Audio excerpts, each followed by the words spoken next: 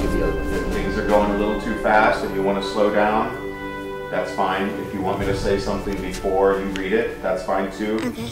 All right? Okay, Okay, go ahead and slate it. Molly, Mr. Ammons.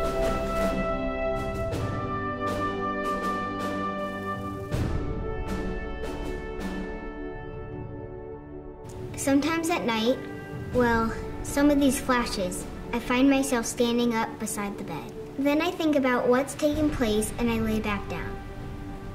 It's rough, even now. All the way from France to Germany, I experienced combat. It was like H E L L. That was a picture of it right there. I was a machine gunner. I was the spearhead. We were on the front lines 195 consecutive days. I saw many men fall at my feet. You had to push them aside, step forward. Did that many a time.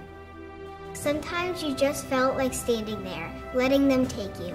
But if I quit, what's going to happen to the man behind me? Looking over my life now, I'm proud of what I did. Not patting myself on the shoulder, but I'm proud of the service I did in my younger days. My name is Robert Lee Ammons. I served in the 387th Artillery Battalion, Battery B.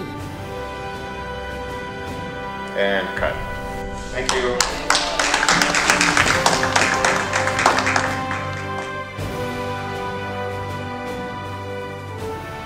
Uh, the name is uh, Wilbert Lee Ammons. I served in the Field Artillery Battalion, 387th Battery B. Went through France, through Belgium, through Holland, and to Bamberg, Germany.